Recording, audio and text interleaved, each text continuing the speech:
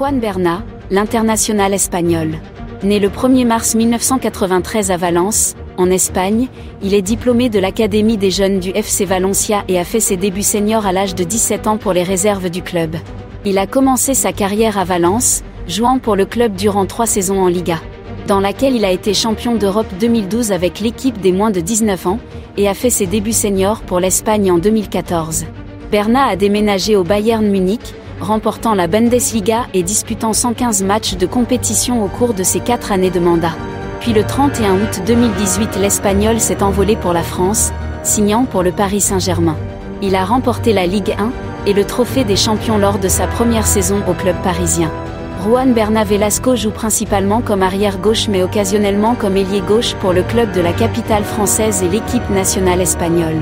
Depuis qu'il joue en tant que défenseur, Berna est moins dans le rôle de buteur, mais il a aussi sa propre satisfaction de but.